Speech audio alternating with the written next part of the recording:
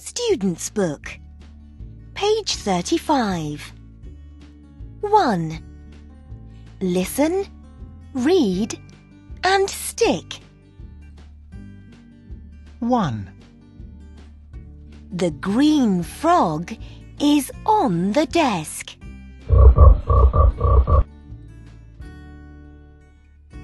2. The yellow frog is in the desk. 3. The red frog is under the desk. Student's Book, page 35. 2. Listen and say. The lizard is in the bag.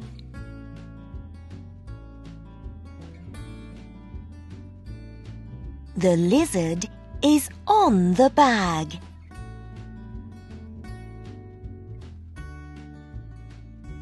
The lizard is under the bag.